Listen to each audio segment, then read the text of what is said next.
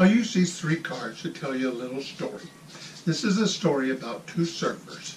Surfer Bob, Surfer Joe, and a hula girl named Pualani. Now Pualani, like all hula girls, loved flowers.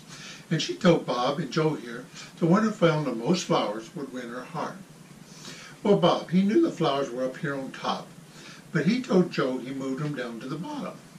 Well, Joe went running down to the bottom, but there was no flowers to be found. So he raced back up to the top. There was no flowers to be found. Joe even checked in the middle, and there were still no flowers to be found. That's because Bob had already beat Joe down to the bottom and picked all the flowers. Bob had beat Joe up to the top, picked all the flowers from the top, and Bob had even beat Joe to the middle and picked all the flowers from the middle.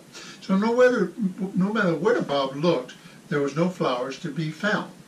That's because Joe here had already picked all the flowers and had already won Pualani's heart.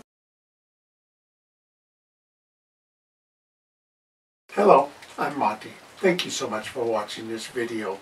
If you've enjoyed it, please subscribe, share it with your friends, and leave a comment. I'd love to hear what you have to say.